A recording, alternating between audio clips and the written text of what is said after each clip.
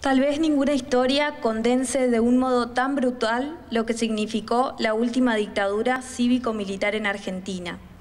El secuestro de 10 estudiantes de colegios secundarios en La Plata en 1976 ha dejado una, una, huella imborrable en la memoria histórica, una huella que sigue hoy en las juventudes que a través de múltiples causas defienden la democracia cada día.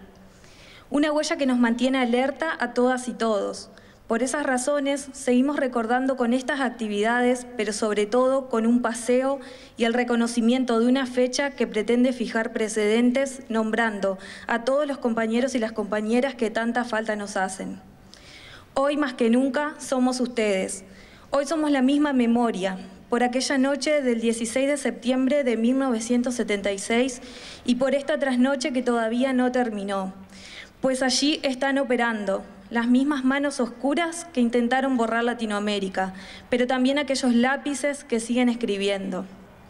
Hoy como juventudes pedimos que nos dejen de gritar, que sigan pronunciándose esos nombres que no están ante tanta amnesia generalizada, porque sus voces no solo son importantes para la historia de nuestro país, sino para el futuro que soñamos.